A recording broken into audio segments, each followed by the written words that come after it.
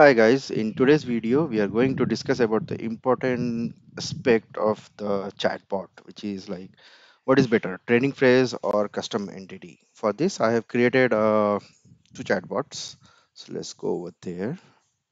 Um, okay, so we can see over here we have two chatbots over here. One uh, the example I have took is outage. So something like uh, when we don't have the power cut uh, or there is a power cut from the supply, right?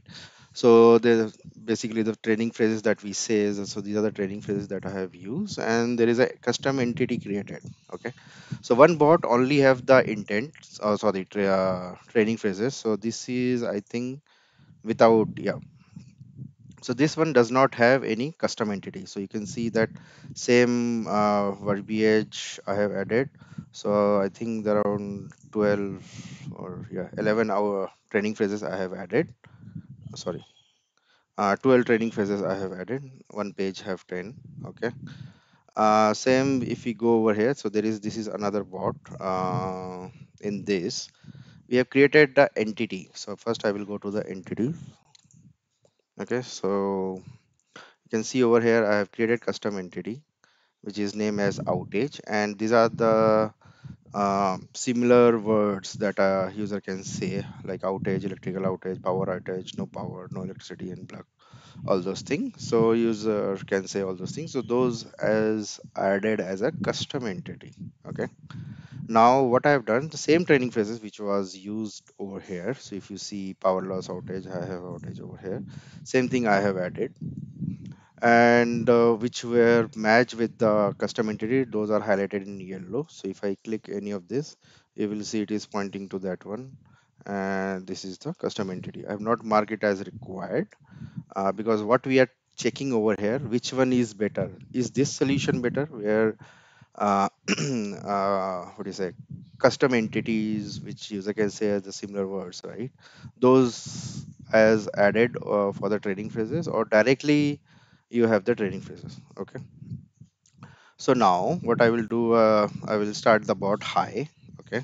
So i have uh, already tested it out but uh, to showcase which one is better uh, what we are going to see is uh, confidence level okay? Uh, the when we user says the power is off this is not in the all the training phrases that we have. So something of like something not which is mentioned in the, over here but that is the uh, the meaning from the user perspective it is the same. The power is off right? So which is same as blackout or there is no electricity right? Now what we are going to see over here is diagnostic info. In the diagnostic info what we will see the confidence level is 54% this is without any custom entity. Now i'm going to say the same thing. So let's start with hi again.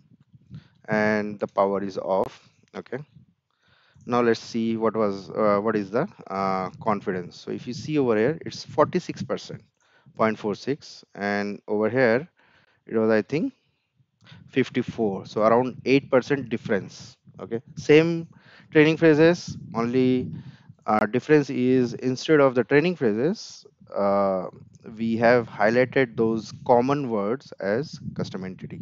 That was an example where we saw that using custom entity is does not result in good recognition. Instead it is uh, instead it is a less in confidence does not help in the nlp mechanism. Okay again we are trying with the loss of power in this. Again without uh, uh, custom entity. So we will see what is the percentage. It's 67 percent okay so again we will try over here where we have with entity okay? And we will type loss of power. So detect the intent. So there is no issue over there. But what we will see is, is recognition capability is only 50 percent. We see over here there is 17 percent difference of improve recognition capability when user is saying whatever that loss of power. So we get the percentage as 67 where when we are using custom entity it's only 50 percent. One more example i will do. So again it's quite similar. Uh, what is that? I will like to report an outage okay? So this is the common thing that user can say.